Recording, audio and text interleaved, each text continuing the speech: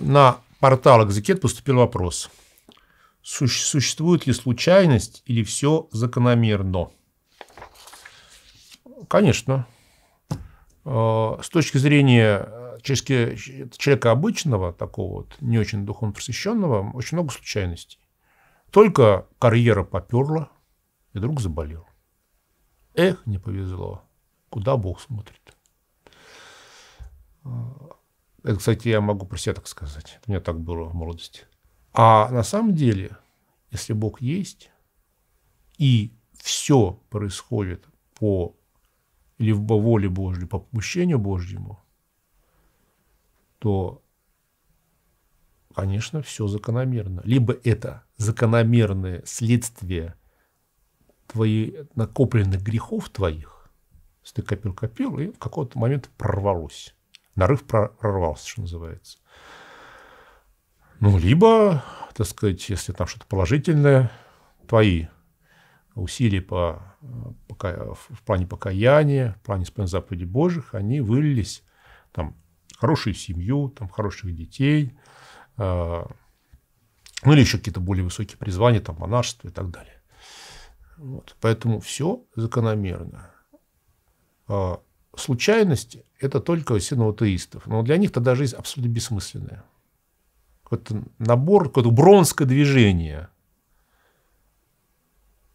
Бессмысленное и беспощадное. Как о русском бунте Пушкин писал, да? Вот это вот бессмысленное, беспощадное. Бронское движение жизни. Это страшно. Но это неправда.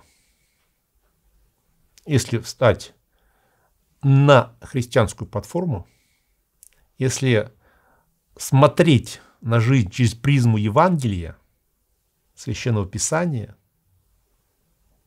то ты увидишь закономерности.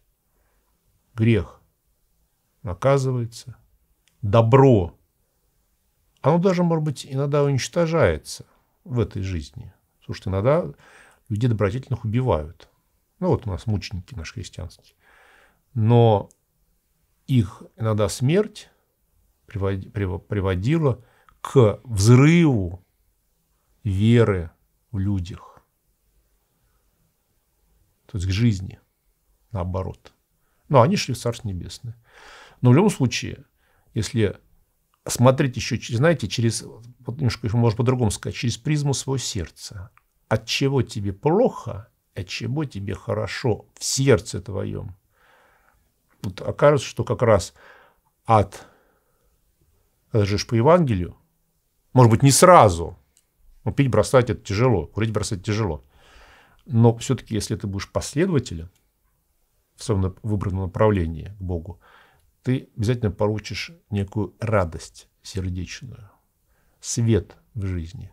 Ну и наоборот, если ты будешь последовать в своем грехе, будешь не укаяться, ты рано или поздно получишь, естественно, от него наказание, что прежде всего будет заключаться в такой мрачность твоего сердца. Ну, а дальше уныние, там, чем-нибудь там выпить, закусить, еще что-нибудь сделать, лишь бы как-то немножко развеять свою эту внутреннюю тоску. Вот, поэтому закономерность есть, что есть Бог.